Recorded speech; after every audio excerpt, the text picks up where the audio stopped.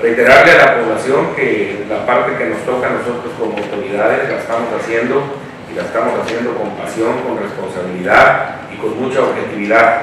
Sin embargo, la mayor parte del trabajo está en el otro lado, está en la propia sociedad, quien tiene que tomar conciencia de la importancia de estas medidas aparentemente sencillas, pero muy contundentes y muy efectivas para poder contener eh, la propagación de un virus nuevo. No, no, no propaguemos eh, el, pánico, el temor entre la sociedad. Entonces, eh, hay que tener tranquilidad, hay que de nuevo sin preocuparnos, porque preocupar nos va a llevar a que nos ocupemos y que podamos pues, contener el mayor tiempo que podamos la aparición de, este virus en, Baja California Sur